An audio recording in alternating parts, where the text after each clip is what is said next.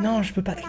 Je peux pas, je peux pas. Demande à ton grand frère. Jean Jésus Jean Jésus, tu peux lire une histoire à ta, à ta soeur, s'il te plaît? Merci, mon grand. Bah, c'est. euh, J'avais plein d'idées de, de noms. C'était soit je l'appelais Nicolas, soit je l'appelais Thibaut, soit je l'appelais Jean Jésus. Je voulais un nom classique, tu vois, un nom vraiment qui fasse pas de vague. Du coup, euh, bah, j'ai donné le plus classique, le plus courant de tous, Jean Jésus. Archibald. C'est un peu trop tape à l'œil, euh, Archibald, et en plus, c'est le nom de notre, comment, de notre lapin. Du coup, ça faisait un peu moyen de donner le nom de, de son lapin à son fils. Enfin, je sais pas, c'était un peu con comme truc, quoi. Ça sort pas de l'ordinaire, en tout cas. Oui, ça, voilà, c'est ça. Je voulais un truc qui sortent pas de l'ordinaire. C'était vraiment un pour moi euh, lors du choix du prénom. Ta fille s'appelle comment? Jeanne Églantine. Jeanne Églantine, on l'appelle JE, c'est plus simple. Tu vas faire quoi sur AC ce soir? J'ai un nouvel objectif. C'est horrible, hein, parce que vraiment ça me fait de la peine à chaque fois que je le fais, mais j'aimerais avoir un villageois qui dégage pour choper le villageois. J'ai eu un villageois coup de cœur en fait. J'ai regardé un- une story de la meuf de PewDiePie qui montrait une tigresse ou j'en sais rien, blanche avec des taches bleues. Elle était magnifique. Mon objectif, c'est de trouver cet habitant-là et de le prendre sur mon île. Donc ce qu'on va faire ce soir, on fait le tour des habitants. Je vous les présente tous un par un. On choisit qui on élimine ensemble. Il y aura un sondage. On choisira qui dégage. Même si ça nous brise le cœur, même si on pleure au niveau des yeux, ça sera un déchirement, mais on dégagera quelqu'un. Et après, on ira à la recherche. Visiblement, c'est Noémie. Attendez, je vais regarder. On cherchera Noémie. Oui, c'est ça, c'est ça, c'est elle. Les gars, regardez qui je veux. C'est voilà, mon objectif, c'est d'avoir absolument elle. Noémie, Bianca, le tigre ou je sais pas quoi. Je suis amoureux. Vraiment, je, veux qu'on ait cette personne. Elle est trop belle. Ah oui, elle, vraiment, elle est trop stylée. Ah, Facile m'a envoyé un truc. La vie a été à vache avec moi ces derniers temps et pourtant, j'ai pas chialé. Pourquoi? Parce qu'il faut aimer la vie malgré la galère. Ta journée sans le purin, une fleurette éclora dessus demain. Wow, elle a fait, elle a fait euh, option philo à l'école ou quoi? Il y a un truc là, c'est pas possible. Attendez, attendez, le spot on l'a enfin. Je sais pas comment faire pour le poser euh, là. Je vais mettre comme ça, je pense. Nope. Oh putain, mais c'est pas possible. Mais en gros. Mais, mais attends, mais, mais oh putain de merde Pourquoi j'arrive pas à le, à le mettre? Y a rien qui va Attendez, on va y arriver. Ça va me faire cambrer du cul là. À quoi il joue le jeu là? J'arrive pas les gars. On va quand même pas lancer le live et se mettre du Hamel Bent dès, dès la première seconde. Recule, ok ok, je recule.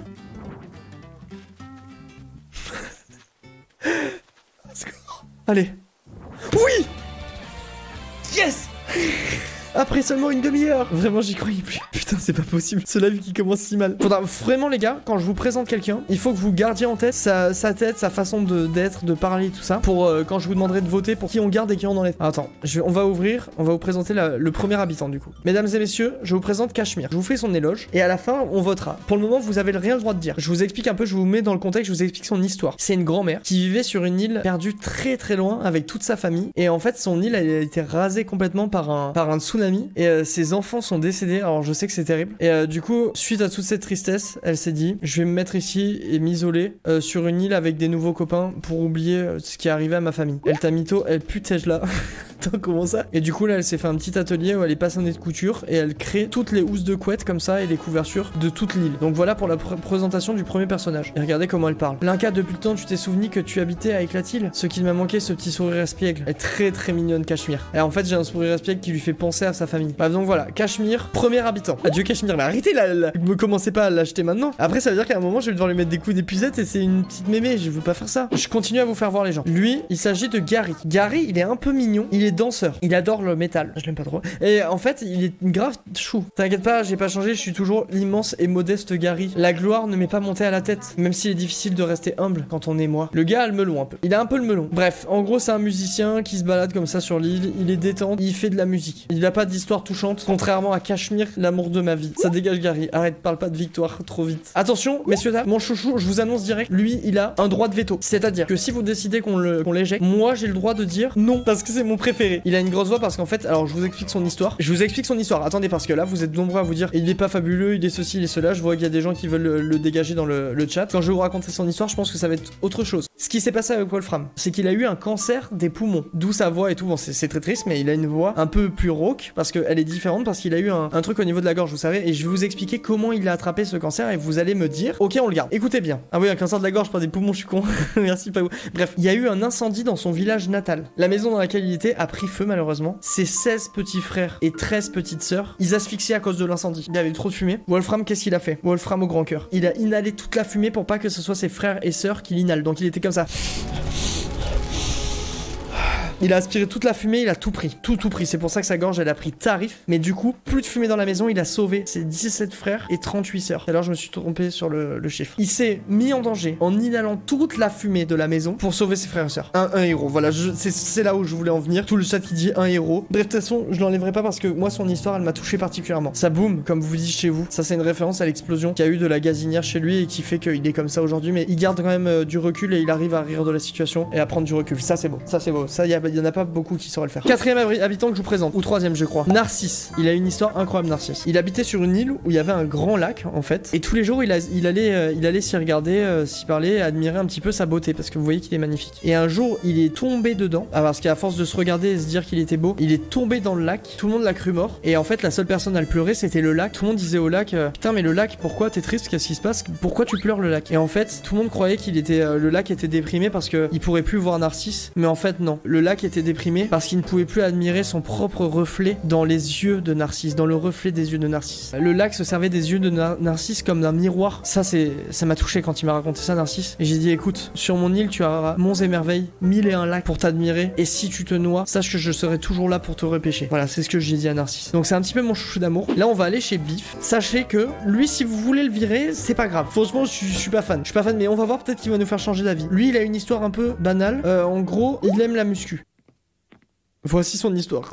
Il y a rien d'autre. Il fait que de la muscu, voilà. C'est toute sa vie, c'est de faire de la muscu. Vraiment, il m'ennuie. Je vais vous dire la vérité, il m'ennuie. Alors, Biff, voilà, donc moi je propose de pas lui donner de cadeau parce qu'il sert à rien. Je, je suis pas fan. Je peux vous présenter maintenant Faustine. Faustine, vous la connaissez tous parce qu'elle a laissé place à une, euh, la création d'une émote sur la chaîne. L'émote chamé parce qu'elle a un légétique de langage. En fait, elle passe sa vie à dire chamé pour tout. Je saurais pas dire si je l'aime ou pas. Ce qui est sûr, c'est qu'elle fait partie des meubles. C'est la première sur notre île avec Biff. Bon, Biff, on s'en fout, il a pas réussi à s'imposer, mais Faustine, elle a ce, je ne sais quoi fait qu'on l'aime. Salut Linka, comment ça va bien? C'est vraiment une bouffe de A à Z. Ça fait un moment qu'on a pu bavarder tous les deux, que je t'ai pas tenu le crachoir. Me dis pas que t'es passé tout ce temps à flémarder au plumard parce que je serais trop jalouse. Elle est nulle à chier, bordel, mais bon, on, l'aime bien quand même. Oh, franchement, elle mérite un peu un cadeau. Brûle là. Ok, bon, je vais pas lui donner de cadeau Yoshi, j'ai compris qu'il y avait une, genre euh, d'altérité quoi. Abraham, il a une histoire toute particulière. Son visage va pas vous dire grand chose, mais en fait, il a une histoire, enfin une histoire très singulière. Vous avez peut-être l'impression de l'avoir déjà vu. Je vais vous expliquer pourquoi. Parce qu'en fait, avant de venir sur mon île, il incarnait euh, Abraham dans les Simpsons. Donc en fait, c'était le père de d'Homer Simpson. Et il a pas très bien vécu ce rôle. Genre, il a, il trouvait que ça le tournait un peu trop à la dérision. Le- les gens l'identifiaient, identifiaient trop son personnage à lui. Il a refait une, une chirurgie complète pour plus ressembler à Abraham des Simpsons. Et il est venu euh, vivre sur mon île pour s'isoler, être un peu à l'abri des regards. Donc voilà, vous en savez plus sur lui maintenant. Coucou Linka, c'est rigolo de tomber sur toi ici. Eh, eh, eh, trop drôle. Il est un peu con. Il est un peu con, Abraham. Messieurs, dames, un tonnerre de pas grand chose, vous n'êtes pas obligés d'applaudir. Pour Roberta. Roberta, en fait. C'est elle qu'on peut l'enlever, elle. C'était euh, un dictateur avant. Elle a fui sa dictature parce que le, le gouvernement est tous, re- enfin, tous retournés contre elle. Elle est venue sur mon île et elle est horrible. C'est une très méchante. Je dis pas ça pour vous faire tourner le truc contre elle, quoi. On peut la garder, mais c'est pas obligatoire, c'est vous qui voyez.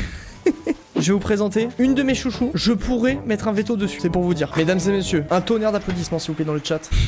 J'avais oublié que j'avais offert cette casquette de merde. Pompon, c'est un peu la meuf sûre, quoi. En vrai, je la kiffe de ouf. Franchement, elle, elle est chouchou. Si jamais vous votez pour l'exclure, je vous cache pas que mon petit cœur va être brisé. Et je dis pas ça pour. euh, Bah, en fait, euh, si je dis ça pour ça, en fait, euh, s'il vous plaît, la faites pas partir, je vais peut-être pleurer si elle part. Attention, messieurs, dames, Mireille. Je vais vous raconter son histoire. Histoire horrible. Encore, en fait, il y a que des, y a que des rescapés d'histoires horribles, j'ai l'impression, sur mon île. Mireille, elle habitait dans une euh, jungle, isolée très, très, très loin. Elle était vraiment loin dans sa petite bourgade, avec toute sa famille. Quand l'homme, l'homme, ce monstre, est arrivé et a déforesté toute son île. Mais en gros, c'est les capitalistes sont arrivés, ils ont tout détruit pour construire des immeubles. Dans sa jungle, ils ont tout rasé. Toute sa famille était dans un arbre, ils ont abattu l'arbre. Tout le monde est mort. Par chance, elle, elle était en train d'aller faire ses courses au Monoprix et du coup, il y a rien arrivé. Quand elle est rentrée, elle a vu que tout le monde était mort. Elle a récupéré tout le bois qu'il y avait de la forêt qui avait été abattue pour construire les meubles qui sont ici chez elle. C'est un crève-cœur de voir ça. Elle, fait ça en souvenir en fait de toute cette famille. Regardez, elle va sûrement nous en parler un petit peu. Coucou toi, ça faisait un bail. Et qu'elle dit, sent bien vite quand tu n'es pas là. Ça me rappelle quand toute ma famille était plus là parce qu'elle est morte. Vous avez vu, je vous avais dit qu'elle nous en parlerait. C'est horrible en vrai, hein. vraiment horrible. Ça ressemble à un peu à Ikea. En fait, elle a pris les plans de- des étagères Ikea pour les faire, mais avec son propre bois, et ça, c'est beau. Et je vous annonce officiellement que je vous ai présenté la totalité des habitants de mon île. Je vais donc réaliser un sondage pour qu'on voit contre qui on s'acharne pour le dégager. Attention, je fais une vague 1. La question, ça sera qui on dégage? Biff, Faustine, euh, Mireille, Abraham, Narcisse. Parmi les habitants que j'ai, qui vous voulez dégager? Vous êtes 1200 maintenant à vouloir dégager Biff. Attention les gars, deuxième sondage. Qui on dégage parmi ses 5 habitants. Il y a Roberta, Mireille, Wolfram, Pompon et Gary. Ah, visiblement, ça va se jouer entre Roberta et Biff, je crois, pour l'exclusion de la maison. Ah putain, j'ai oublié de mettre Cachemire. Sachez que la personne qui sera choisie va être dégagée de l'île. Qui on vire entre